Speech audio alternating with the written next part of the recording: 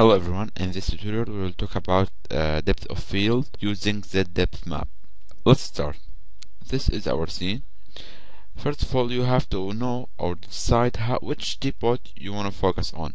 In this case I want to focus on this teapot.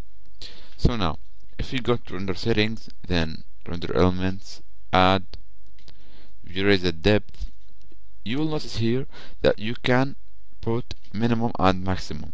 So what's minimum and what's maximum?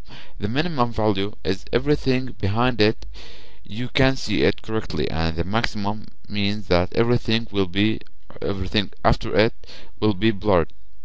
So now how to put your values? If you go here helpers tape and draw an helper now alt A to the camera our camera and check this and okay. And for this also here. Now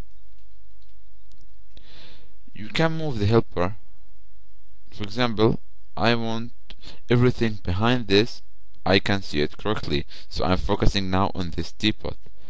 If you go to help uh, our tape you will see that there is a value here about 30 so you can go to our minimum and put 30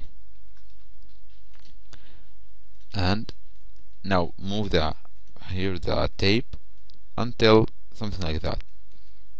So I do not want to see this. I want to, uh, to be blurred. Uh, let's see the value now.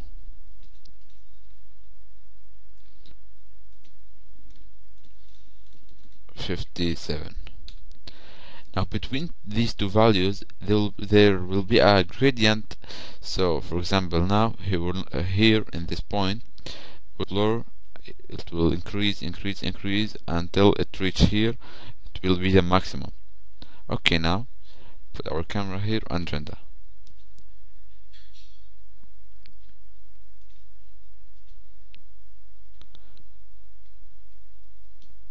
okay now if we go here and VRayZDepth you will see our map.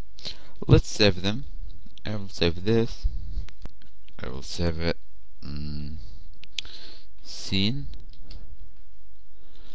Dot and this also. For z depth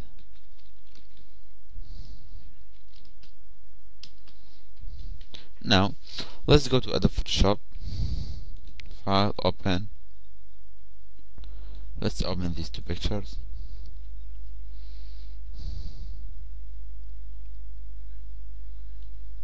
Now if we select this picture and cut it then go to here. Go to channels add channel. Now paste it. Return okay. So that's it until now. Now let's go to filter blur lens blur. Now from source put it alpha 1 now put invert. You can now from here you can for example put it something like that or something like that as, as you want. For me I'll put it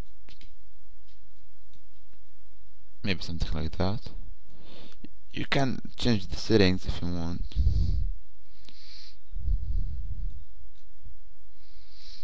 Okay.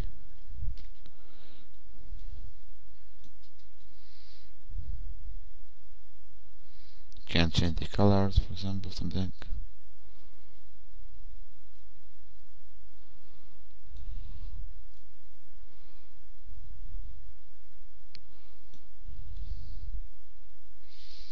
okay so this is it.